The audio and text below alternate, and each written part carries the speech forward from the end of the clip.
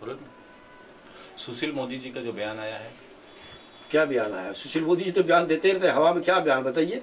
लालू जी के लोकप्रियता को देख करके और उनके बच्चों के तेज तेज प्रताप यादव की देख करके तेज, तेजस्वी यादव की लोकप्रियता को देख के आरजेडी की लोकप्रियता को देख के वो घबरा गई है, बौखलाहट में क्या करेगा आदमी? बौखलाहट में कुछ से कुछ बोलने लगता है।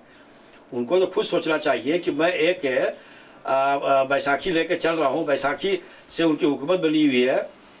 भाजपा को लेकर हुकूमत बनाए हुए हैं। वो सुशील मोदी क्या करेंगे? उन पर कुछ ताकत ही नहीं, अकेले खड़े होने कि, वो तो बैस- बैसाखी का सहारा लेने वाला आदमी है। बैसाखी पर चलने वाला आदमी है। लालू जी की बराबरी वो कहाँ से करेंगे?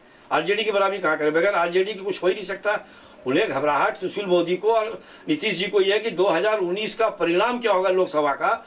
उन्हें यह मालूम है कि 11 करोड़ जनता बिहार की 8 से 9 करोड़ जनता, राष्ट्रीय जनता दल लालू प्रसाद यादव और तेजस्वी के साथ है। इनकी बुखलाहट से वो परेशान है।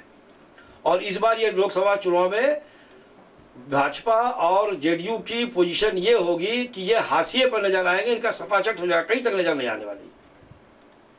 कट करो